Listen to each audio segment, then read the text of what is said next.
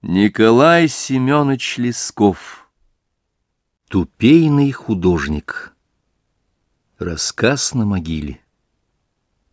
Святой памяти благословенного дня 19 февраля 1861 года.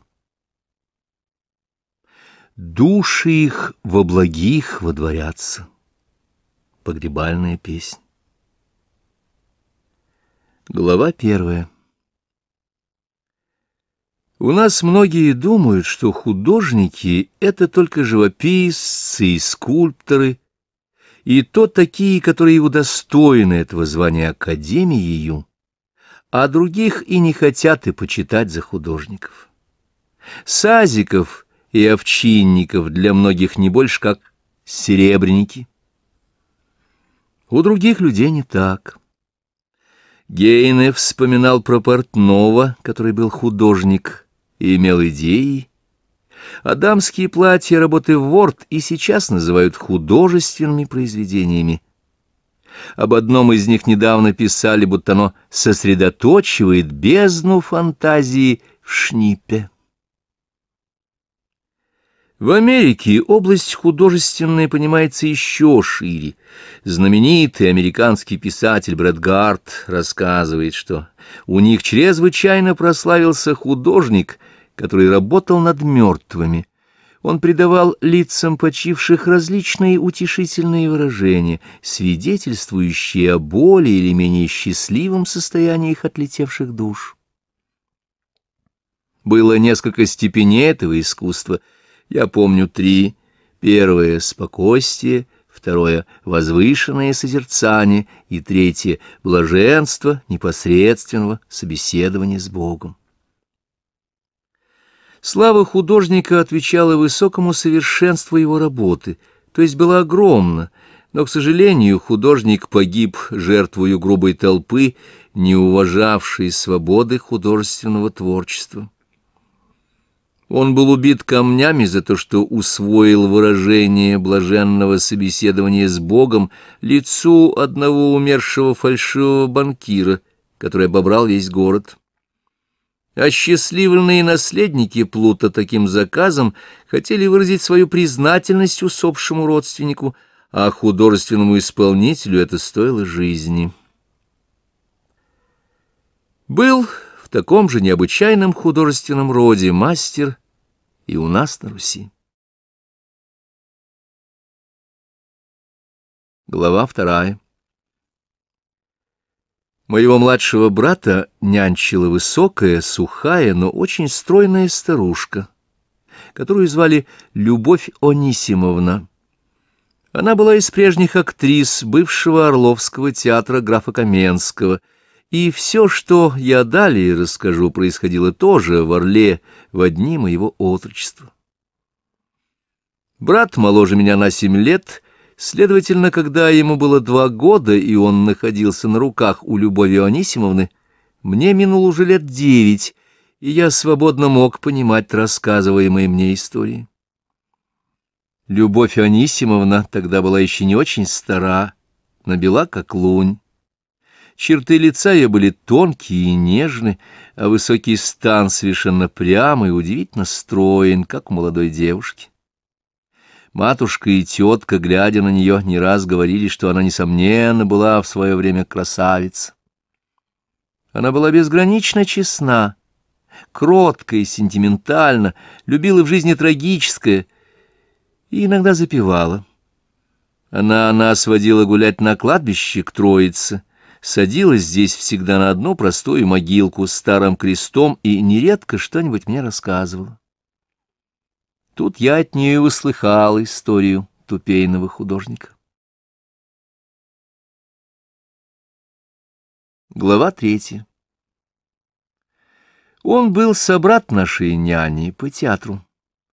Разница была в том, что она представляла на сцене и танцевала танцы, а он был тупейный художник, то есть парикмахер и гримировщик, который всех крепостных артисток графа рисовал и причесывал. Но это не был простой банальный мастер с тупейной гребенкой за ухом и с жестянкой растертых на сале румян, а это был человек с идеями, словом, художник. Лучше его, по словам Любови Анисимовны, никто не мог сделать в лице воображения, при котором именно из графов Каменских процветали обе эти художественные натуры, я с точностью указать не смею. Графов Каменских известно три, и всех их орловские сторожилы называли неслыханными тиранами. Фельдмаршала Михаила Федотча крепостные убили за жестокость в 1809 году, а у него было два сына — Николай, умерший в 1811 году, и Сергей, умерший в 1835 году. Ребенком в сороковых годах я помню еще огромные серые деревянные здания с фальшивыми окнами, намалеванными сажей и охрой, и огороженные чрезвычайно длинным, полуразвалившимся забором. Это и была проклятая усадьба графа Каменского. Тут же был и театр. Он приходился где-то так, что был очень хорошо виден с кладбища Троицкой церкви, и потому Любовь Анисимовна, когда бывало что-нибудь захочет рассказать, то почти всегда начинала словами «Погляди-ка, милый, туда, видишь, какое страшное». «Страшное, няня». «Ну, а что я тебе сейчас расскажу, так это еще страшнее». Вот один из таких ее рассказов о тупейщике Аркадии, чувствительном и смелом молодом человеке, который был очень близок ее сердцу. Глава четвертая Аркадий причесывал и рисовал одних актрис — для мужчин был другой парикмахер, а Аркадий, если и ходил иногда на мужскую половину, то только в таком случае, если сам граф приказывал отрисовать кого-нибудь в очень благородном виде. Главная особенность гримировального туше этого художника состояла в идейности, благодаря которой он мог придавать лицам самые тонкие разнообразные выражения. Призовут его, бывало, — говорила Любовь Анисимовна, — и скажут, надо, чтобы в лице было такое-то и такое воображение. Аркадий отойдет, велит актеру или актрисе перед собою стоять или сидеть, а сам сложит руки на груди и думает. И в это время сам всякого красавца краше, потому что ростом он был умеренный, но стройный, как сказать невозможно. Носик тоненький и гордый, а глаза ангельские, добрые, и густой хохолок прекрасно с головы на глаза свешивался, так что глядит он, бывало, как из-за туманного облака. Словом, тупейный художник был красавец и всем нравился. Сам граф его тоже любил и от всех отличал, одевал прелестно, но содержал в самой большой строгости. Ни за что не хотел, чтобы Аркадий еще кого, кроме его, остриг, обрил и причесал. И для того всегда держал его при своей уборной, и кроме как в театр Аркадий никуда не имел выхода. Даже в церковь для исповеди или причастия его не пускали, потому что граф сам в Бога не верил, а духовных терпеть не мог, и один раз на Пасхе борисоглебских священников со крестом борзыми затравил. Рассказанный случай был известен в Орле очень многим, я слыхал об этом от моей бабушки Алферьевой и от известного своей непогрешимостью старика, купца Ивана Андросова, который сам видел, как псы духовенства рвали, а спасся от графа только тем, что взял греха на душу. Когда граф его велел привести и спросил тебе, жаль их, Андросов отвечал, «Никак нет, ваше сиятельство, так им и надо, пусть не шляются». За это его Каменский помиловал. Граф же, по словам Любови Анисимовны, был так страшно нехорош, через свое всегдашнее зление, что на всех зверей сразу походил. Но Аркадий этому зверообразию умел дать, хотя на время — такое воображение, что когда граф вечером в ложе сидел, то показывался даже многих важнее.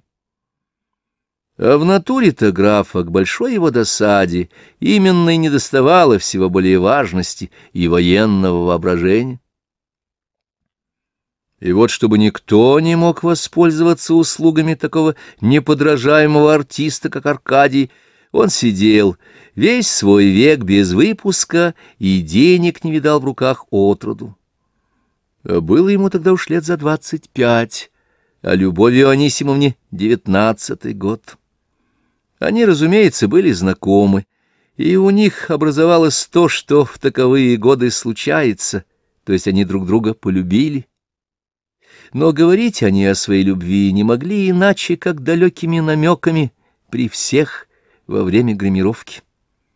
Свидания с глаза на глаз были совершенно невозможны и даже немыслимы. Нас, актрис, — говорила Любовь Анисимовна, — берегли в таком же роде, как у знатных господ берегут кормилиц. При нас были представлены пожилые женщины, у которых есть дети, и если, помилуй Бог, с которой-нибудь из нас что бы случилось, то у тех женщин все дети поступали на страшное тиранство. Завет целомудрия мог нарушать только сам, тот, кто его уставил. Глава пятая Любовь Анисимовна в то время была не только в цвете своей девственной красы, но и в самом интересном моменте развития своего многостороннего таланта. Она пела в хорах под пури, танцевала первые па в китайской огороднице и, чувствуя призвание к трагизму, знала все роли наглядкою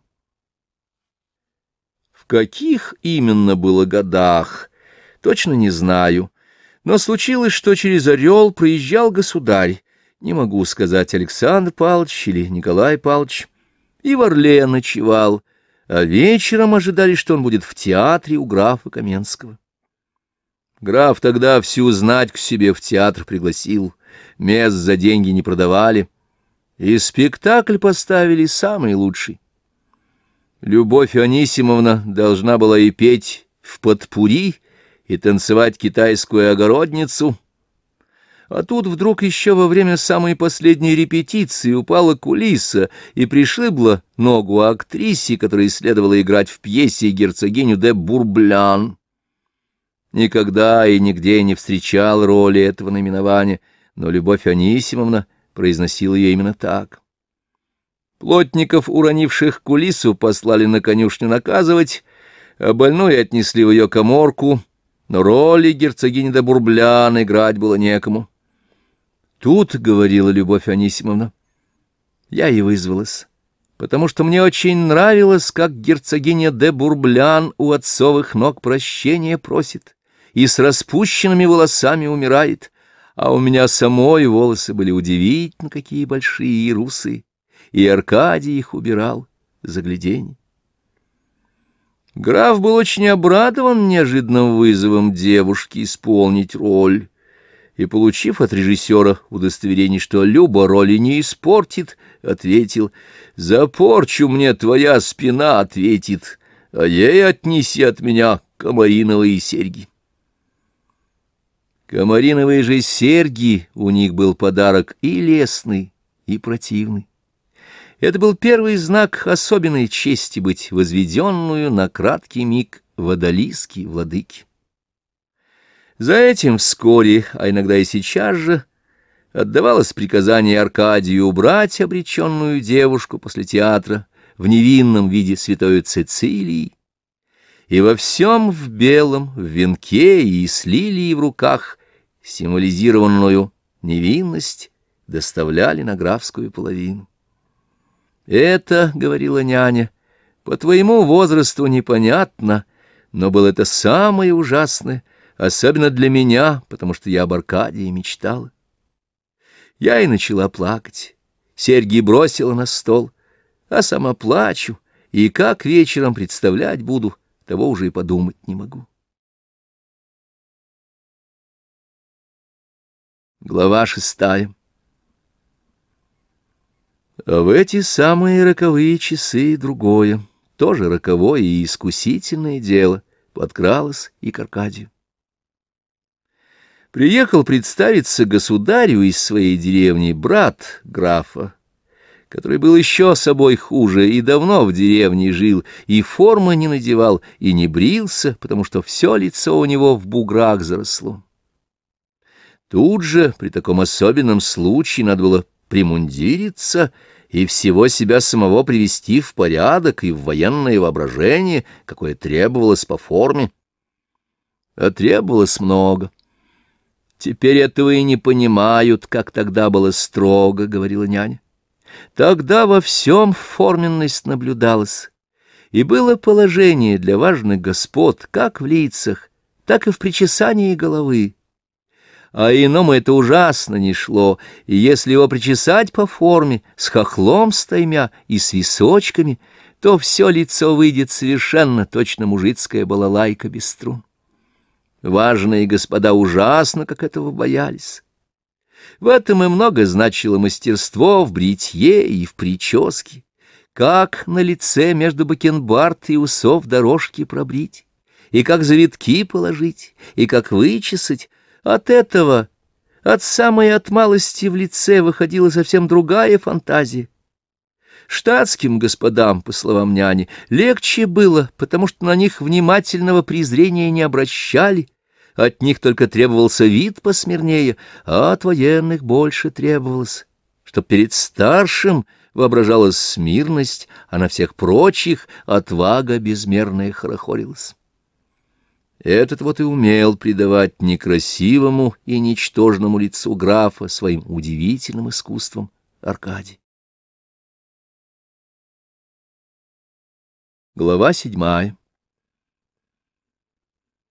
Деревенский же брат графа был еще некрасивее городского и вдобавок в деревне совсем заволохатил и напустил в лицо такую грубость, что даже сам это чувствовал, а убирать его было некому, потому что он ко всему очень скуп был и своего парикмахера в Москву по оброку отпустил.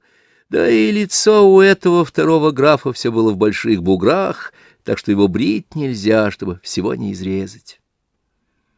Приезжает он в Орел, позвал к себе городских цирульников и говорит — кто из вас может сделать меня наподобие брата моего графа Каменского, тому я два золотых даю. А на того, кто обрежет, вот два пистолета на стол кладу. Хорошо сделаешь, бери золото и уходи. А если обрежешь один прыщик или на волосок бакенбарда не так проведешь, то сейчас убью.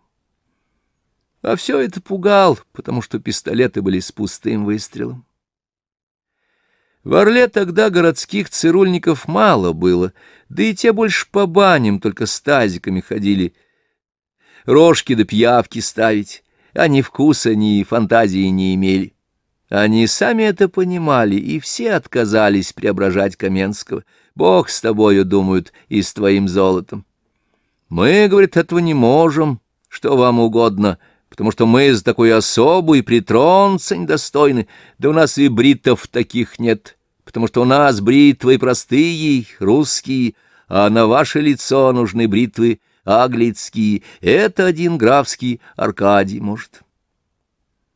Граф велел выгнать городских цирульников по шеям, а они рады, что на волю вырвались, а сам приезжает к старшему брату и говорит — так и так, брат, я к тебе с большой моей просьбой.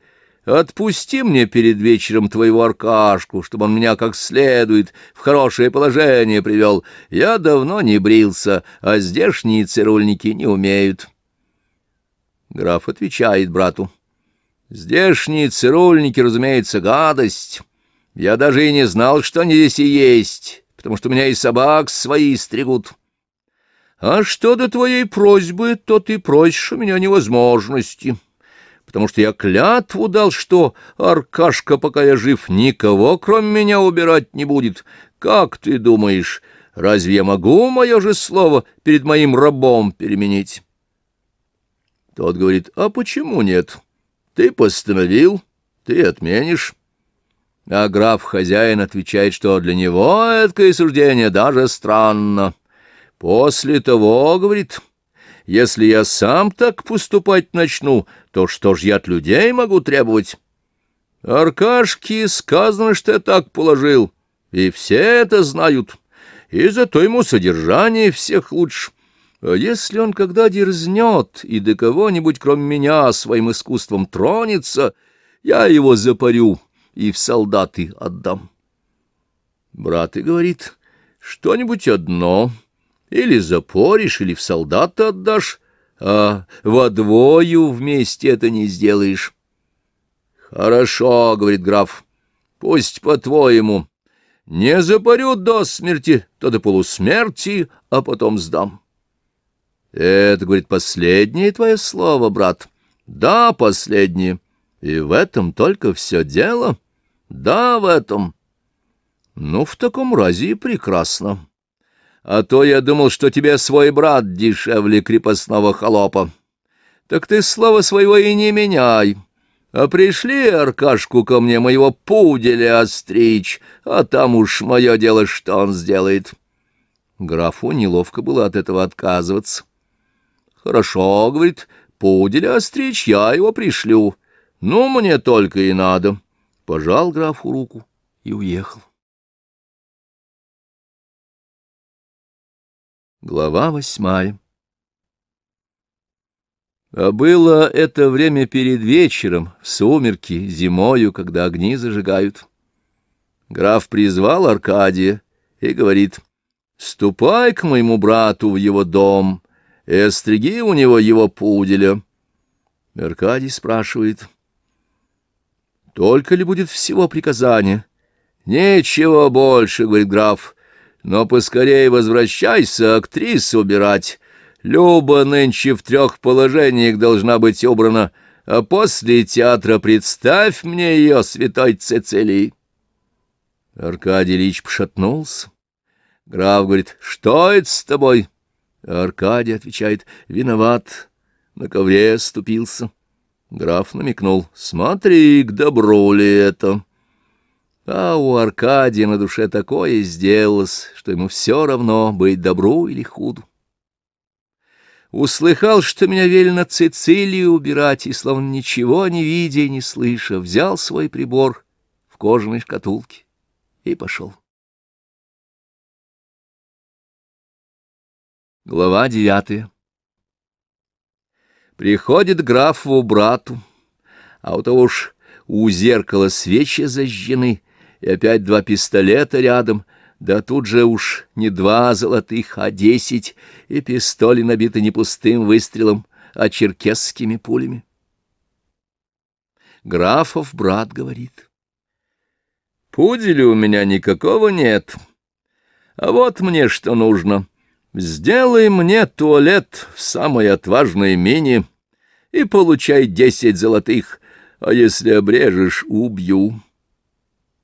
Аркадий посмотрел, посмотрел, и вдруг Господь его знает, что с ним сделалось. Стал графова брата и стричь, и брить. В одну минуту сделал все в лучшем виде, золото в карман сыпал и говорит «прощайте». Тот отвечает, «Иди, но только я хотел бы знать, от чего такая отчаянная твоя голова, что ты на это решился». Аркадий говорит, «От чего я решился, это знает только моя грудь да подоплека». Или, может быть, ты от пули заговорен, что и пистолетов не боишься? Пистолет — это пустяки, — отвечает Аркадий. Об них я и не думал. Как же так? Неужели ты смел думать, что твоего графа слово тверже моего, и я в тебя за порез не выстрелю? Есть на тебе заговора нет, ты бы жизнь кончил. Аркадий, как ему графа напомянули, опять вздрогнул и точно в полуснях проговорил. Заговора на мне нет, а есть во мне смысл от Бога. Пока бы ты руку с пистолетом стал поднимать, чтобы в меня выстрелить, я бы прежде тебе бритвою все горло перерезал. И с тем бросился вон, и пришел в театр как раз в свое время, и стал меня убирать, а сам весь трясется. И как завьет мне один локон и пригнется, чтобы губами отдувать, так все одно шепчет «Не бойся, увезу». Глава десятая Спектакль хорошо шел, потому что все мы как каменные были, приученные к страху и к мучительству, что на сердце не есть, а свое исполнение делали так, что ничего и не заметно.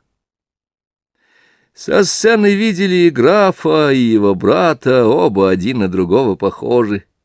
За кулисы пришли даже отличить трудно, только наш тихий, притихий, будто сдобрившись, это у него всегда бывало перед самую большой лютостью.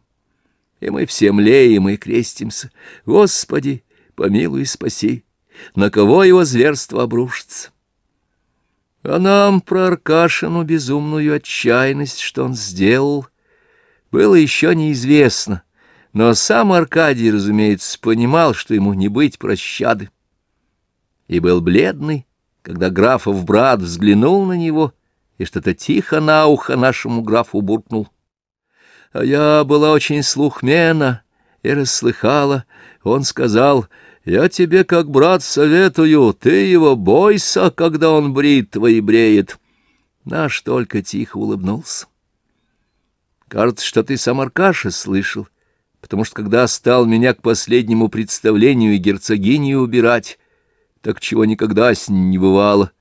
Столько пудры переложил, что костемер француз стал меня отряхивать и сказал «Требако, тробако» и щеточкой лишнее с меня чистил.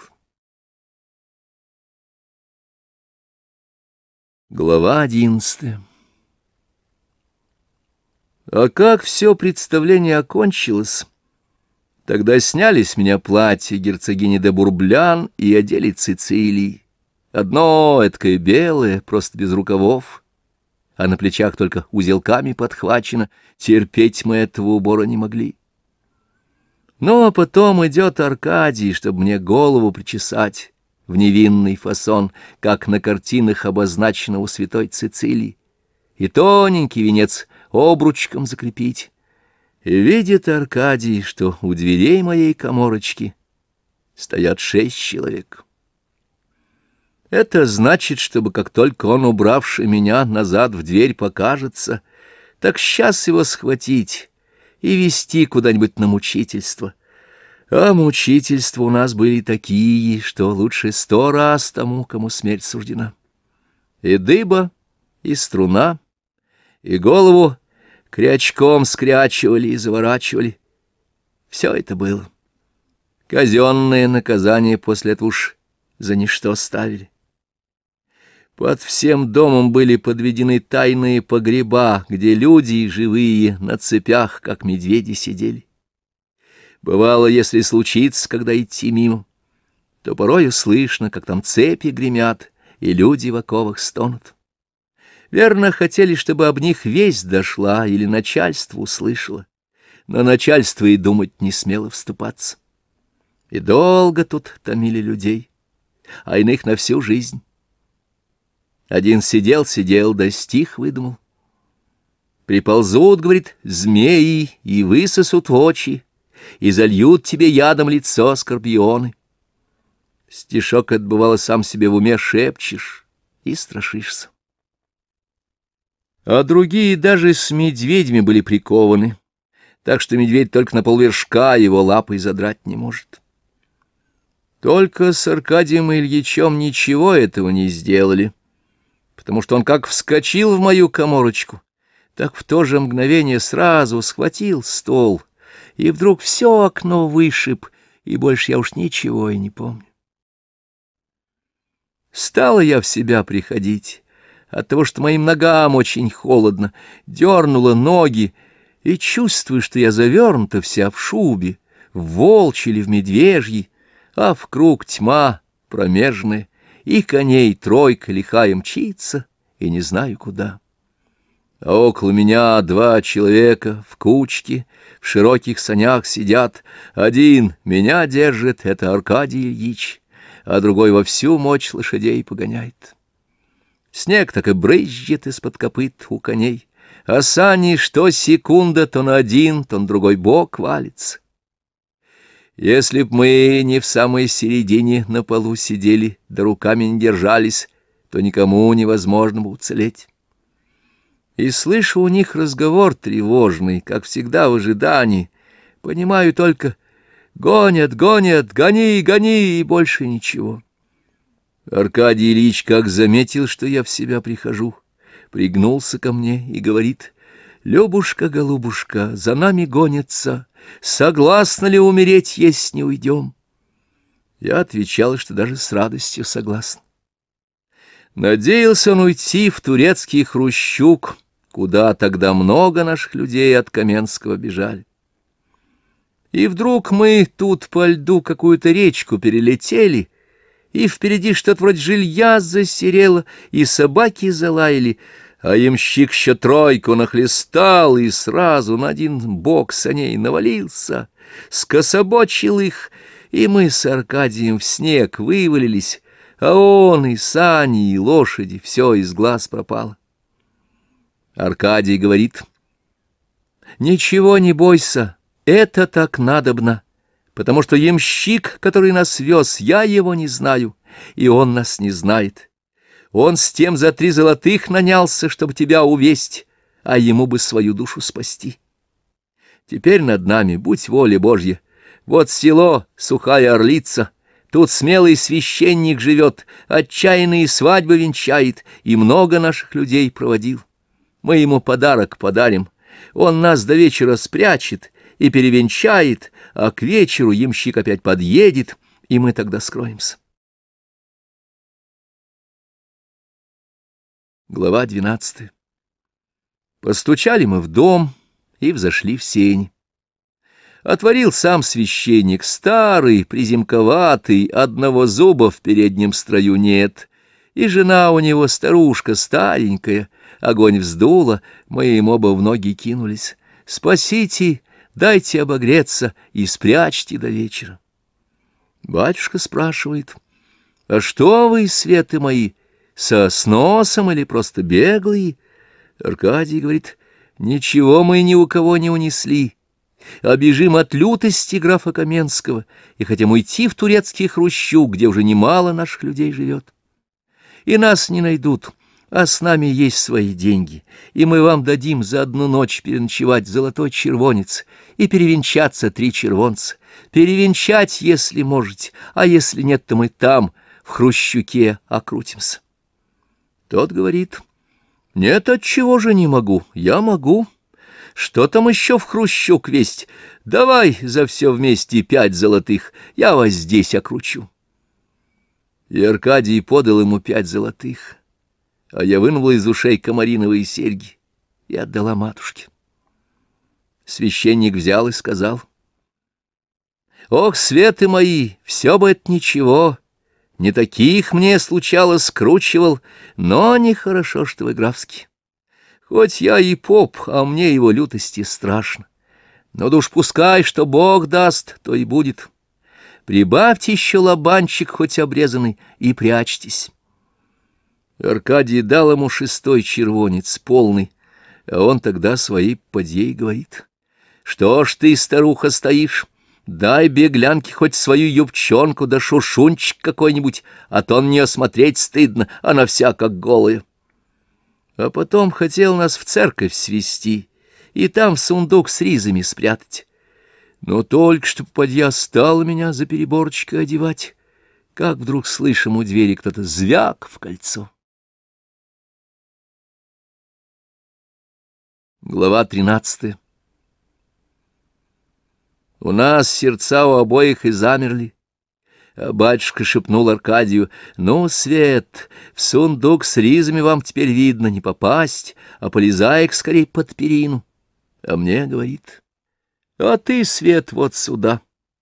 Взял да в часовой футляр меня и поставил, и запер, и ключ к себе в карман положил, и пошел приезжим двери открывать.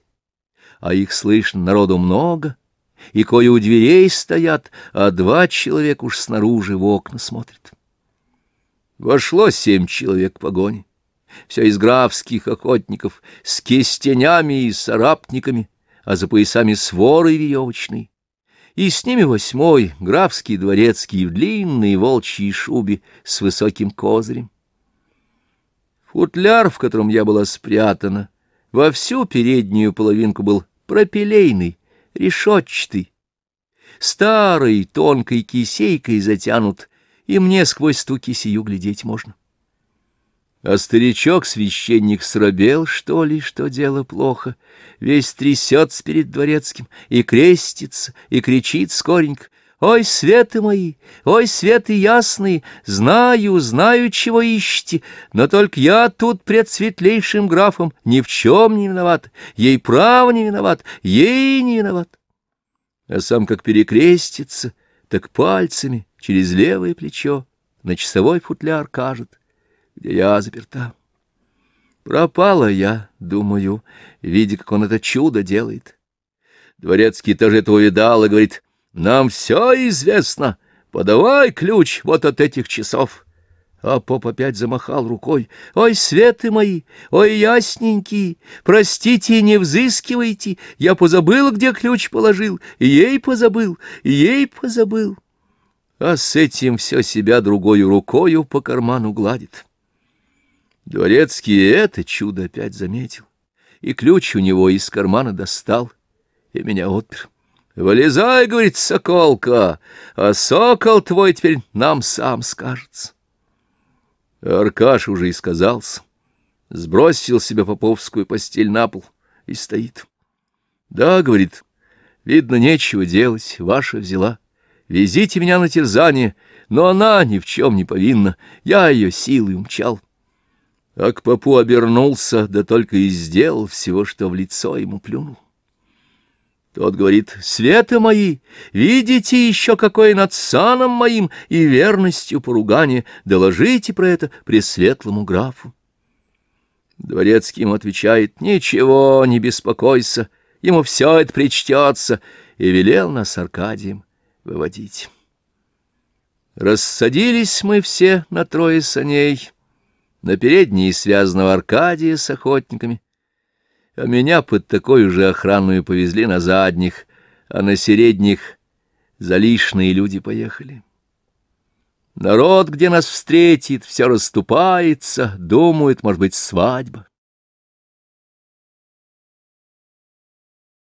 Глава четырнадцатая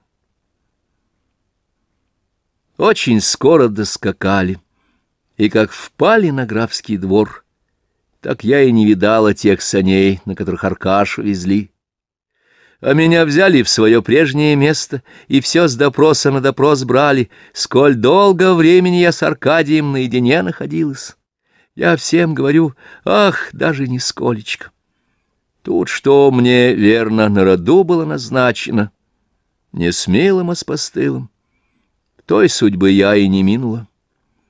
А придучи к себе в коморку, только было ткнулась головой в подушку, чтобы оплакать свое несчастье, как вдруг слышу из-под пола ужасные стоны.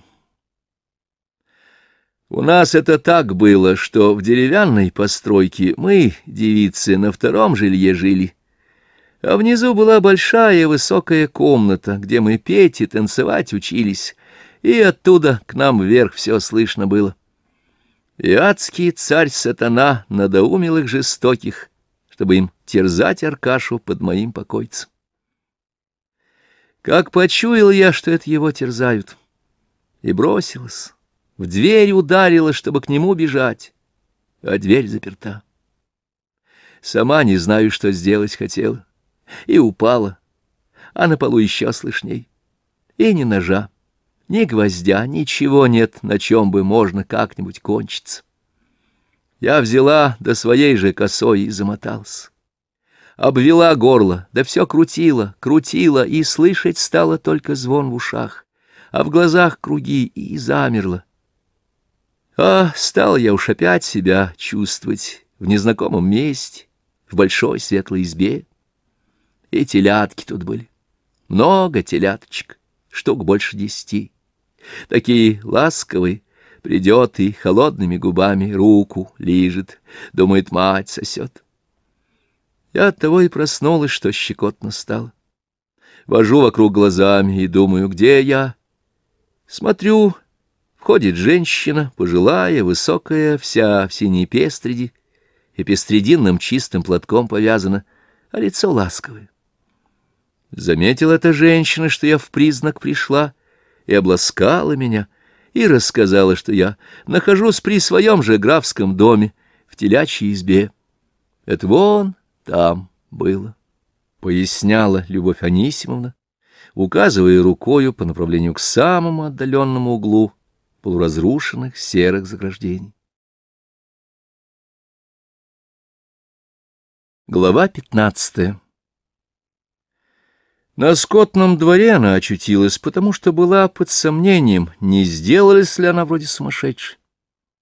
Таких скотам, уподоблявшихся на скотном, и испытывали, потому что скотники были народ пожилой и степенный, и считалось, что они могли наблюдать психозы. Пестрединная старуха, у которой опозналась Любовь Анисимовна, была очень добрая а звали ее Дросида. Она как убралась перед вечером, — продолжала няня, — сама мне постельку из свежей овсяной соломки сделала. Так распушила мягко, как пуховичок, и говорит, — я тебе, девушка, все открою. Будь что будет, если ты меня выскажешь, а я тоже такая, как и ты, и не весь свой век эту пестрить носила, а тоже другую жизнь видела. Но только не дай бог о том вспомнить, а тебе скажу. Не сокрушайся, что в ссыл на скотный двор попала. На ссылу лучше, но только вот этого ужасного плакона берегись. И вынимает из-за шейного платка беленький стеклянный пузырек и показывает. Я спрашиваю, что это? Она отвечает, это и есть ужасный плакон, а в нем яд для забвения. Я говорю, дай мне забвенного яду, я все забыть хочу. Она говорит, не пей, это водка. Я с собой не совладала раз, выпила, добрые люди мне дали. Теперь не могу, надо мне это, а ты не пей, пока можно, а меня не суди, что я пососу, очень больно мне а тебе еще есть в свете утешение. Его Господь уж от тиранства избавил. Я так и вскрикнула. Умер, да за волос себя схватила. А вижу, не мои волосы, белые. Что это? Она мне говорит, не пужайся, не пужайся. Твоя голова еще там побелела, как тебя из косы выпутали. А он жив, и от всего тиранства спасен. Граф ему такую милость сделал, какой никому и не было. Я тебе, как ночь придет, все расскажу, а теперь еще пососу. Отсосаться надо, жжет сердце. И все сосало, все сосало, и заснул. Ночью, как все заснули, тетушка Дросида опять тихонечко встала, без огня подошла к окошечку и вижу опять, стоя, пососала из плакончика, и опять его спрятала, а меня тихо спрашивает, спит горе или не спит. Я отвечаю, горе не спит. Она подошла ко мне, к постели, и рассказала, что граф Аркадия после наказания к себе призвал, и сказал, «Ты должен был все пройти, что тебе от меня сказано, но как ты был мой фаворит, то теперь будет тебе от меня милость. Я тебя пошлю завтра без зачета в солдаты сдать. Но за то, что ты брата моего, графа и дворянина, с пистолетом его не побоялся, я тебе путь чести открою. Я не хочу, чтобы ты был ниже того, как сам себя с благородным духом поставил. Я письмо пошлю, чтоб тебя сейчас прямо на войну послали и ты не будешь служить в простых солдатах, а будешь в полковых сержантах, и покажи свою храбрость. Тогда над тобой не моя воля, а царская.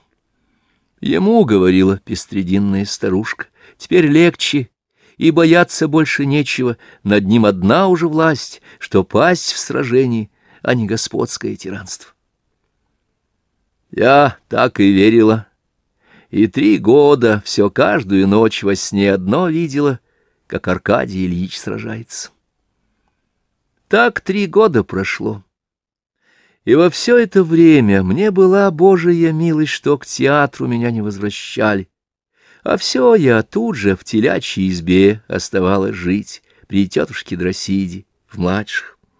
И мне тут очень хорошо было, потому что я эту женщину жалела, и когда она, бывала, ночью не очень выпьет, так любила ее слушать.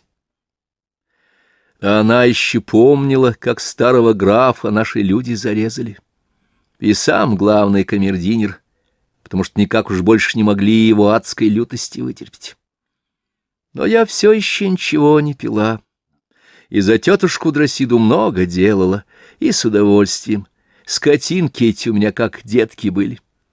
К теляткам, бывало, так привыкнешь, что когда которого отпоишь, его поведут колоть для стола, так сама его перекрестишь, и сама о нем после три дня плачешь. Для театра я уж не годилась, потому что ноги у меня нехорошо ходить стали, колыхались. Прежде у меня походка была самая легкая, а тут, после того, как Аркадий Ильич меня уводил по холоду без чувств, я, верно, ноги простудила, и в носке для танцев уже у меня никакой крепости не стало. Сделалась я такой же пестрединкою, как и Дросида. И бог знает, докуда прожила в такой унылости. Как вдруг один раз была я у себя в избе перед вечером. Солнце садится, а я у окна тальки разматываю и вдруг мне в окно упадает небольшой камень, а сам весь в бумажку завернут. Глава шестнадцатая. Я оглянулась туда-сюда, и за окно выглянула, никого нет. Наверное, думаю, это кто-нибудь с воли через забор кинул, да не попал куда надо, а к нам старушкой вбросил и думаю себе, развернуть или нет эту бумажку. Кажется, лучше развернуть, потому что на ней непременно что-нибудь написано.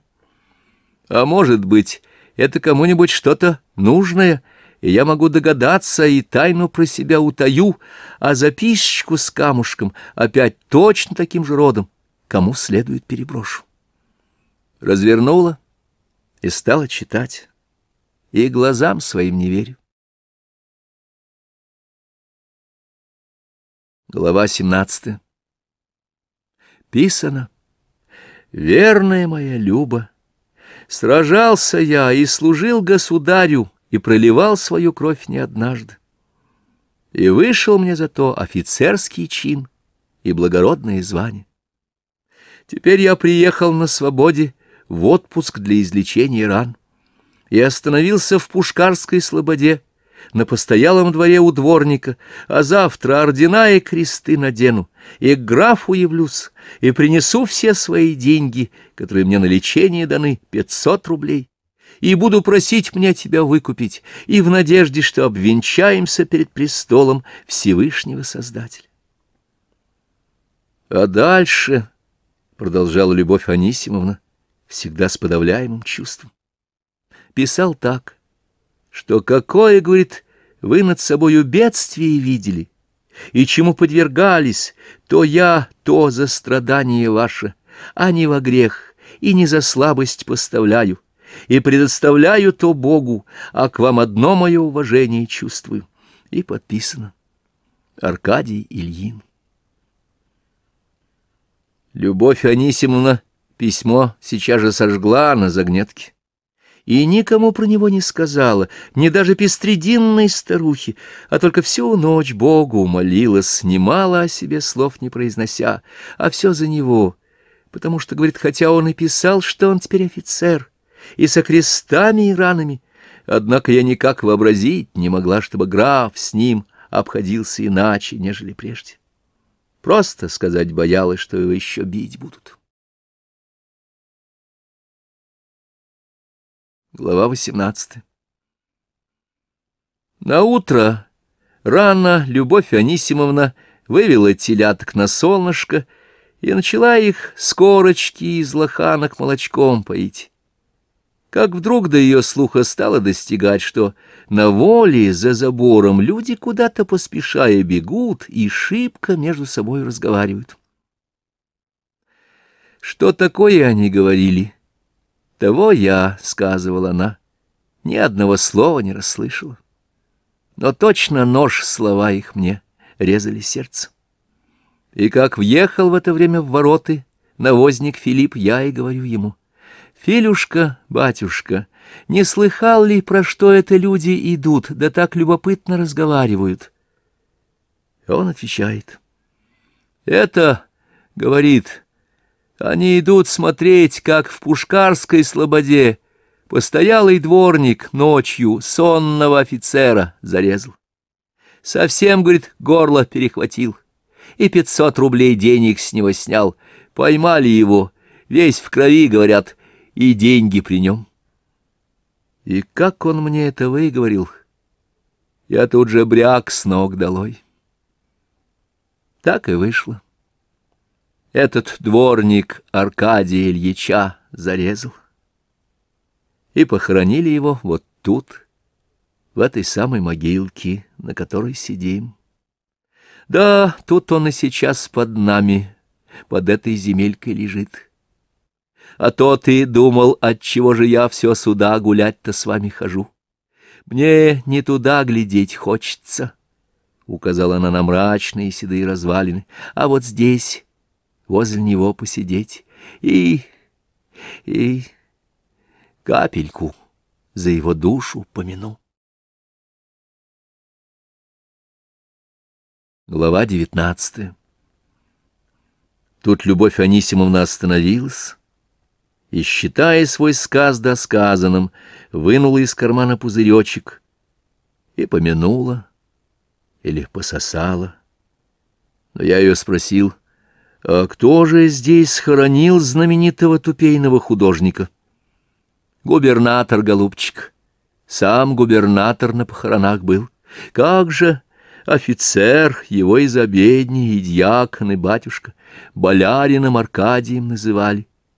И как опустили гроб, солдаты пустыми зарядами вверх из ружей выстрелили.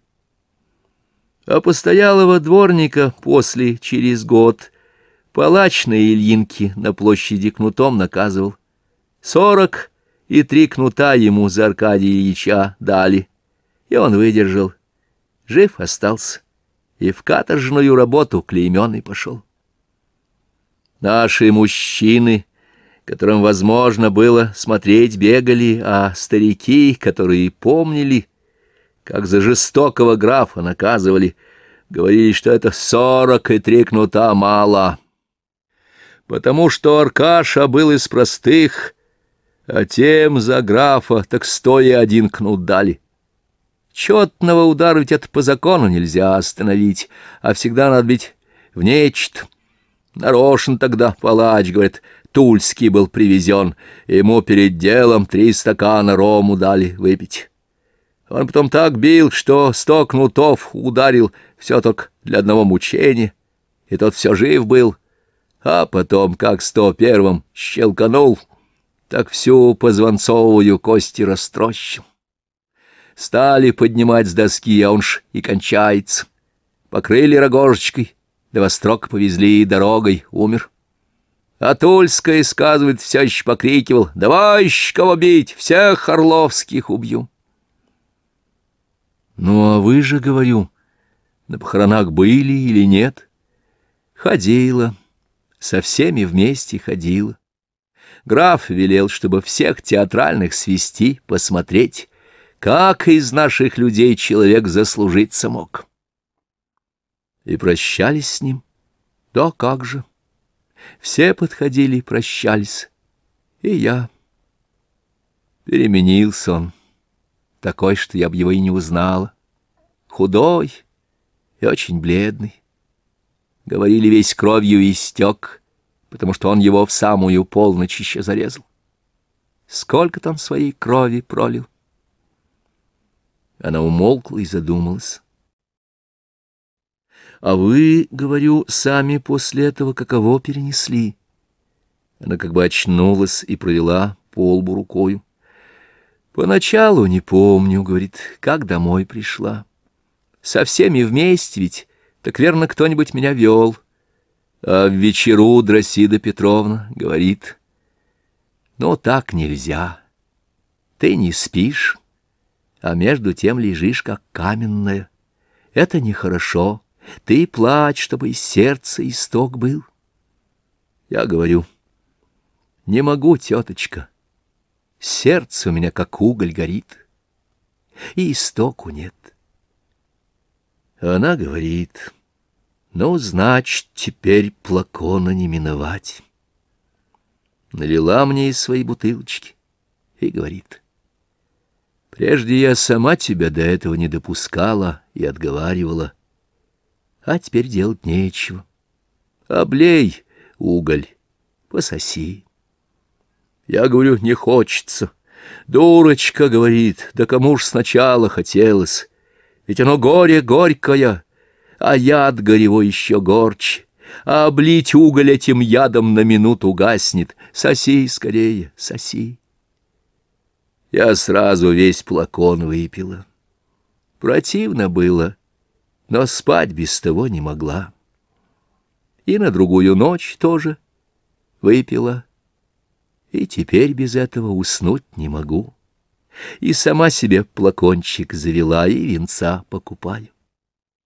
А ты, хороший мальчик, мамаше этого никогда не говори, никогда не выдавай простых людей, потому что простых людей ведь надо беречь, простые люди ведь все страдатели. А вот когда мы домой пойдем, то я опять за уголком кабачка в окошечко постучу, сами туда не взойдем, а я свой пустой плакончик отдам, а мне новый высунут.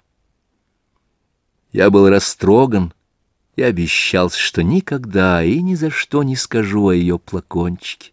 Спасибо, голубчик, не говори, мне это нужно. И как сейчас я ее вижу и слышу.